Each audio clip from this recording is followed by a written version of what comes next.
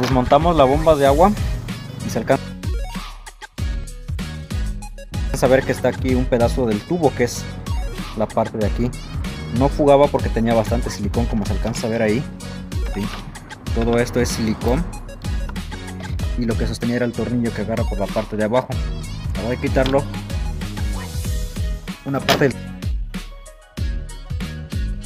tubo es la que está aquí adentro, por eso no hay que repasar este tubo completo. Aquí ya tenemos nuestra bomba nueva armada.